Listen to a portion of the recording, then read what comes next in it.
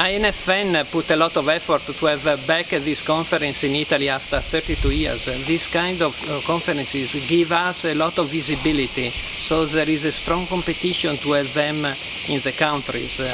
We are really proud to have in Padova and uh, we expect to, to have a very beautiful results in physics this year in Venice. We expect a new results from CERN. CERN is exploring a new range of energy that's extremely interesting. And the whole astroparticle community is bringing here new results. The combination of this information will be very interesting uh, and we, we sincerely hope to have uh, exciting new results in this conference. We expect to have here uh, roughly 1,000 of physicists. It's a very large number and it's difficult to manage all those people, but we are excited to have uh, so many uh, brilliant physicists here in Venice this year.